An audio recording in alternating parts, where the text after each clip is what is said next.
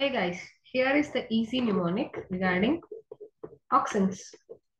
So remember the mnemonic A, AB, C, D, E, F. So for A, it is apical dominance.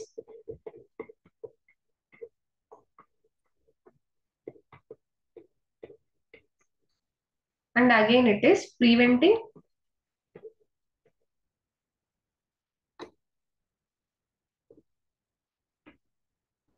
For A, it is apical dominance. For AB, is preventing abscission. For C, it is cuttings. So it will initiate roots on the stem cuttings. For D, it is differentiation. So it will promote the differentiation of, it also controls the xylem differentiation. And for E,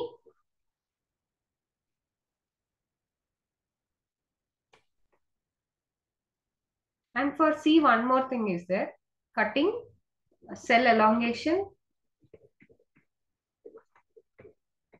and cell division.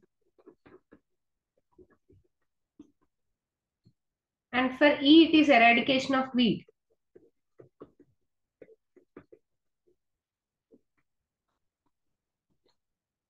So eradication of weed. And for F, it is flower.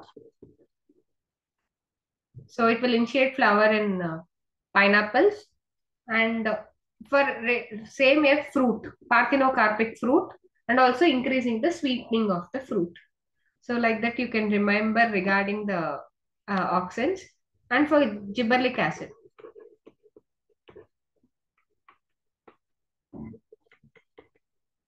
And for gibberellic acid, so G for grapes. And grapes are mainly used for brewing also.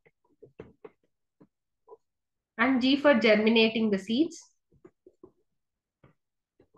Germination of seeds. And the internodal length will be increased in the grapes. So that's how the grapes will be looking bigger. And also for sugarcane as well. So 20 tons per acre, it will increase the yield. So and genetically draft plants also.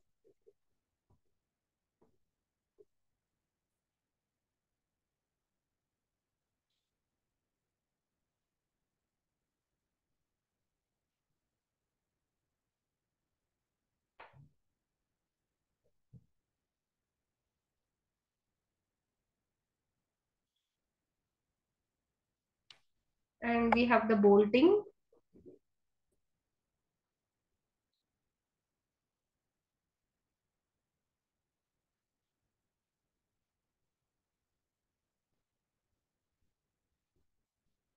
So these are the mnemonic. You just remember grapes, which is for brewing and germination of seeds. Genetically draft plants will be converted to tall plants and bolting, which is increased uh, internodal length.